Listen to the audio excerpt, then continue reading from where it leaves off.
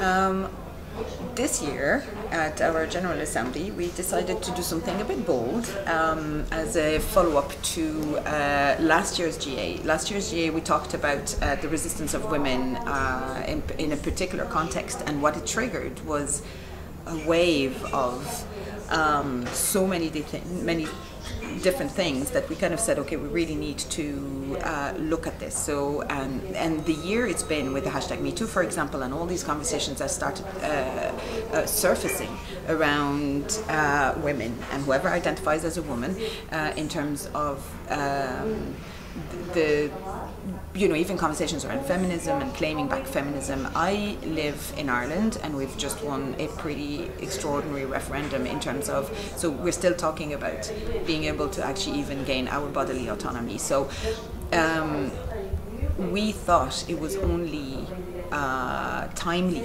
for us as an, as an anti-racist uh, network and movement to start looking at actually ourselves and women within our own movement. Um, because there's a tendency I think to erase women from whatever spaces that they contributed to. And uh, historically I am from Algeria and women absolutely fundamentally contributed to uh, not even contributed won our in the, the war for independence and then suddenly most of them have been just erased or the idea of like okay you fought but now you go back to the kitchen kind of uh, conversation. So I think it is for for a very robust and strong and powerful anti-racist movement we need to be a feminist and intersectional anti-racist movement. And to be able to do that we need to self-reflect on how we are ourselves um, and in within how do we uh, how do we manage the dynamics within the movement itself?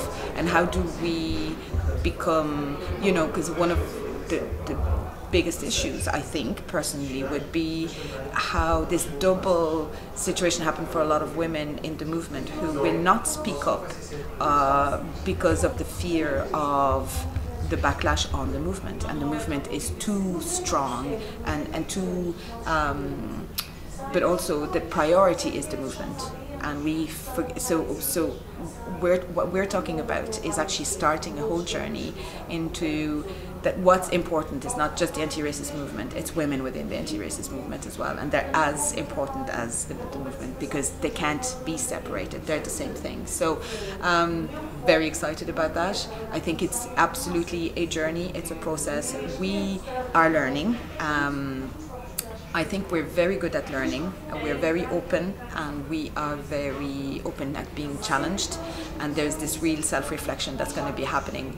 Um, and also being really proud of, you know, I don't need the permission of anyone to be a feminist. I don't need the permission of any mainstream white middle class feminism to tell me that it's okay for me to be a feminist. So there is something about also moving and shifting the idea that um, women of color uh, could uh, possibly be like in, in, in, a, in a mainstream feminist movement that we this idea that we're seen more as a project than a partner where the people that are worked with and not actually people that are uh, our partner and equal partners in the in, in the movement for for women's liberation and women's freedom so and women's rights. So I think us being very proactive towards this uh, is very important. I am uh, personally really excited about it um, and uh, yeah let's see what's going to happen and our learning